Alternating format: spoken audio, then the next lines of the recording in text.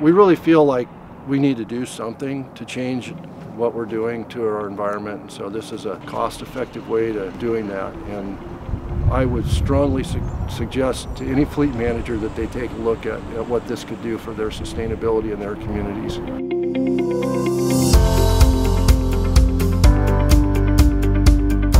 Biodiesel's been in our program probably a total of about 20 years. We've used a blended fuel of, of B20 uh, during the warmer months and then B3 during the winter months. And uh, it's performed very well for us.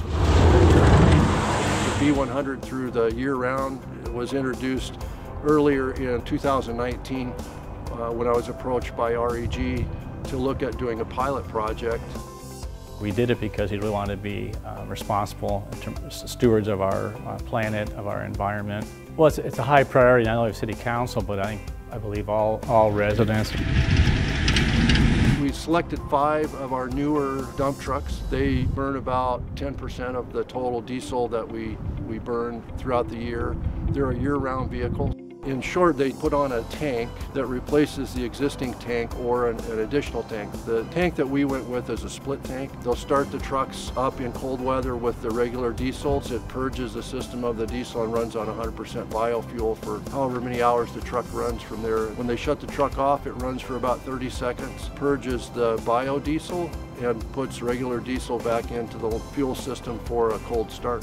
Uh, we went through about a thousand gallons of uh, biofuel that first weekend and the temperatures were, were cold and we found that, uh, that everything performed extremely well. My concern was how does it work in cold temperatures, knowing that you know diesel fuel has a tendency to gel as it gets colder.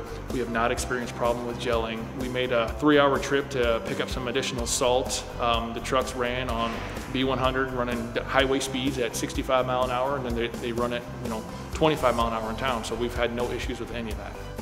We are extremely excited about this opportunity to use a B100. I think the future is extremely bright. We're excited to partner with REG and also lead the way uh, nationally and looking for new ways to be sustainable and uh, good stewards of our environment.